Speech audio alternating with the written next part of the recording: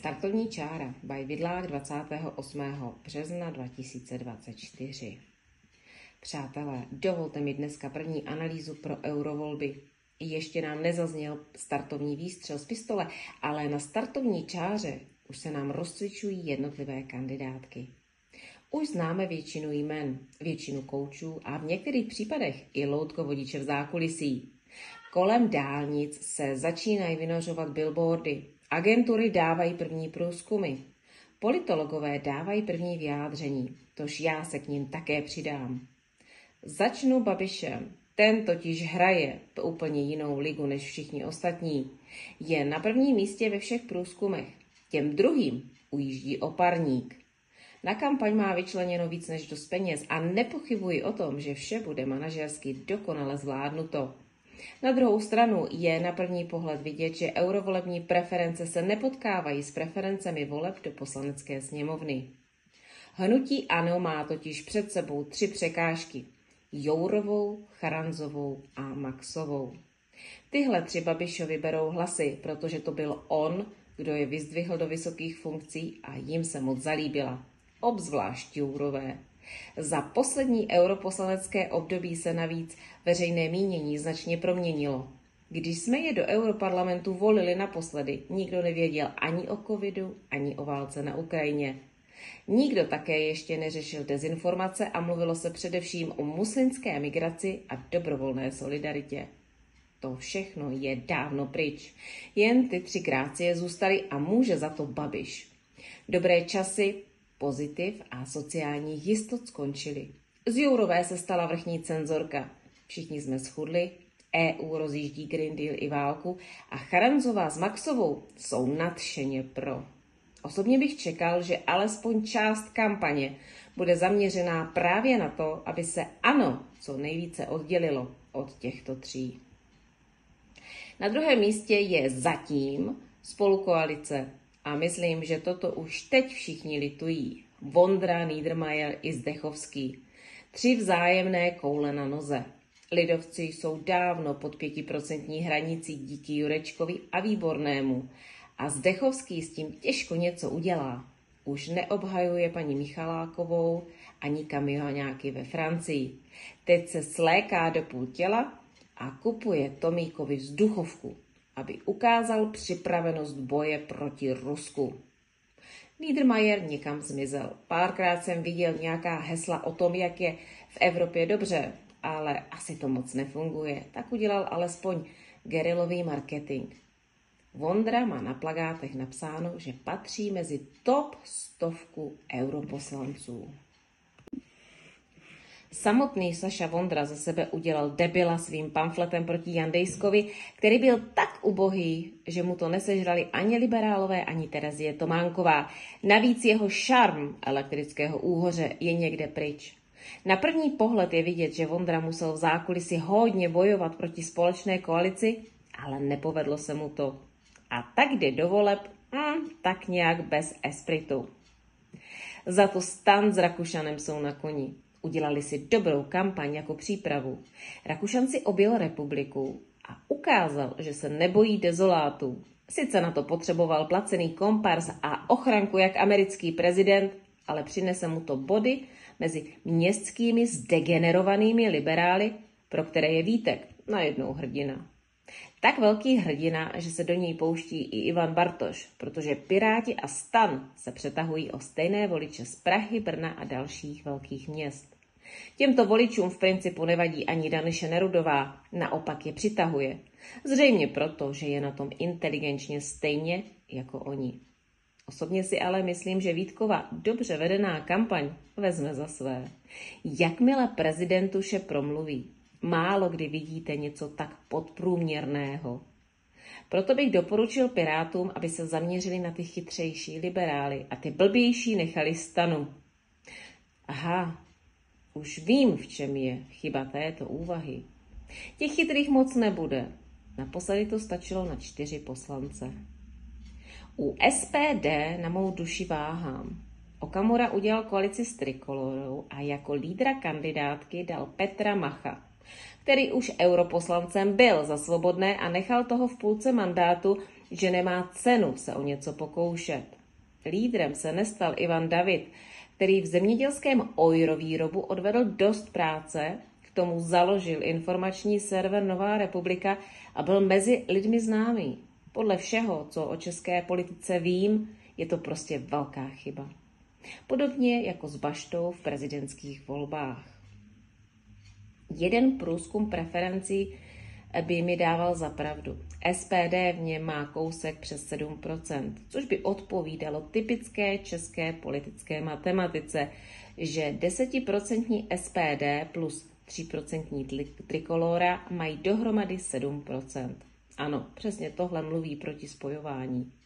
Upečete koalici a víc voličů ztratíte, než získáte. Ale jiný průzkum zase ukazuje, že SPD je na svých číslech a kampaň ještě nezačala. Osobně ale budu velmi zvědavý, jak půjdou dohromady Mach a Majerová s převážně levicovými voliči. Ne, že by to nešlo, ale Mach bude muset hodně ubrat na svých libertariánských tezích a Majerová bude muset začít podporovat referenda o vystoupení z EU či NATO. Oba se navíc budou muset odnaučit slova jako placené zdravotnictví a školné. Pokud se neudrží, bude to průšvih. Socdem nemíním komentovat. To je ztráta času. I kdyby tam měli deset zaorálků, dokud budou mít v čele šmardu a mezi členy lidi, kteří ho volí, tak mohou jít jedině dolů. Šmarda je jeden z těch, co se nezapomněl vymezit proti zlému dezinformátorovi Vidlákovi, jak mě nazvala Mazancová, kterou teď za to vyšetřuje policie. Kdo by volil socdem, když to může hodit Bartošovi nebo Rakušanovi? Socdem má na podzim volební sjezd a já se nemohu ubránit dojmu, že pracují na tom, aby do té doby definitivně zmizeli z dějin a nebylo už co reformovat. Další, nad kým váhám, jsou motoristé s přísahou. S Petrem Macinkou jsem se osobně potkal a Institut Václava Klauze z ní číší na sto honů takže si na svoje pravicové voliče sáhne. Motoristé umějí být radikálně uměření. Rádi si je zvou do televize, jejich názory na válku na Ukrajině či na to jsou stejné jako názory starého Klauze. Kdybych byl zhrzelý volič ODS, který vzpomíná na dávnou slávu, Macinka by mě asi hodně přitahoval. Ale neumím čist šlachtu. Vůbec. On to má jako bývalý elitní policajt tak trochu v popisu práce, ale nedokážu k němu říct vůbec nic. Prozatím se přikláním k tezi blogéra Defenze, který říká, že řidič a policajt nejdou dohromady. Opět nejsem sám, kdo váhá. Jeden průzkum jim připisuje skoro 5%, druhý jim připisuje kousek přes 2%. Prostě záleží, jakých lidí se zrovna zeptáte. Pokud bych jim mohl něco doporučit, tak zpracovat právě to, aby šlachta nebyl jako tajemný hrad v Karpatech.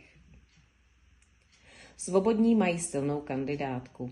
Šichtářová a Gregor, to jsou dobrá jména a nejen oni. V jejich případě hodlám počkat na nějaký další průzkum, než se k ním vyjádřím. Na to, kolik politické práce odvedly, jsou jejich preference docela nízké. Generál Blaško podle mě nemá šanci, protože Vandas, protože Adam B. Bartoš, bez ohledu na rozumné Petra Haniga i bez ohledu na Vítovou. Věřím, že si tam všichni docela rozumějí, ale jsou předsudky, které voliči nepřekousnou. Osobně bych se hodně divil, kdyby překročili 1%. Na závěr jsem si nechal to, co se mě tak nějak dotýká i osobně. Oheň a vodu. Pro a stačilo. Reichla a Konečnou. Pro si loni na svém volebním sněmu odhlasovalo, že nepůjdou cestou aktivistů Rédové, Březiny, Mose a tak trochu cestou mou. Naopak půjdou cestou Vacka, Drbohlava, Turkové, Viktorína a Haška. Výsledek se brzy dostavil a viděli jsme ho na sobotní demonstraci. Osobně nevěřím žádný zázračný zvrat. Jestliže od září ubyly dvě třetiny aktivních příznivců, kteří běžně na demonstrace jezdí, ale tentokrát nepřijeli, ačkoliv o termínu věděli už od podzimu, tak to má vážný důvod. Navíc začít ostrou část kampaně v podstatě neúspěšnou demonstrací, to je handicap jak svině. Omlouvám se všem příznivcům strany pro, ale od podzimního sjezdu strany už to není ta stejná strana jako v létě. A všichni to hlasování nohama na Václaváku viděli. Pro se prostě zaměřilo na hlasy zhrzelých pravicových voličů ODS a zařadilo se do stejné fronty jako víceméně všichni ostatní. I SPD má macha, aby pro ně lovil právě v těchto vodách. Chci míry odradil Vacek. Čestné vesnické moraváky odradil Hašek. Aktivisty odradil Viktorín. A jestli to tak není, tak proč bylo na Václaváku tak málo lidí? Kateřina Konečná naopak šla cestou, kterou pro odmítlo. Udělala koaliční kandidátku, dala jí marketingově velmi dobrý název a udělala to, po čem se tady dva roky volalo. Spojila se přesně s těmi, které pro odmítalo. Vzala na kandidátku chcimíry a pracovité aktivisty. Ty, kteří se angažovali v organizování demonstrací, mírových pochodech a kteří jsou schopni dělat marketing s velkým dosahem. Zároveň si kačka dokázala dát pozor, aby si tam nevzala nějakého jájínka nebo narcise, který by to tam rozvracel zevnitř. Takže ani vrábel, ani paroubek. Stačilo se zaměřilo na propadlé hlasy z minulých voleb a postaralo se, aby k ním mělo informační kanály. Drze řeknu, že Kateřina Konečná četla můj blog obzvláště pozorně. Součástí její koalice jsou zatím tři strany a nominované nezávislé osobnosti. Lidí ze Svatopluku, Národní rady obnovy, aktivisté z demonstrací. Zároveň došlo k situaci, která se u nás asi ještě nikdy nestala. Nalevo je úplně prázdno. S výjimkou Babiše, který hraje svoji vlastní hru s vlastními problémy. Všichni ostatní krouží kolem politické zdechliny ODS a řadí se do fronty na její preference. Klasický levicový pracující volič se tentokrát vlastně nemá mezi kým rozhodovat. Buď to hodí stačilo, anebo bude hodně skřípat zuby. Když je někde tlačenice, jinde je zase pěkně volno. Někdy se budu muset zeptat, jestli to takhle plánovali, anebo to tak prostě jen pěkně vyšlo. Výsledek se brzy dostavil. Ani mainstream se netají tím, že konečná jde nahoru. Vítězná strategie se uprostřed zápasu nemění, takže bych očekával, že do definitivního uzavření kandidátek ještě klidně nějaké výrazné jméno přibude. A kromě oficiální kampaně uvidíme ještě i spoustu marketingových počinů jednotlivých kandidátů, protože to tak dělali i předtím. Do voleb se toho ještě hodně stane. Dějiny se nebudou ohlížet, že tady v Kotlince volíme. Ještě přiletí nějaké černé labutě, tedy události, které nikdo nepředvídá a ty mohou všechny volební strategie postavit na hlavu. Ale teď, chvíli před startem, bych tam viděl karty rozdané právě takto.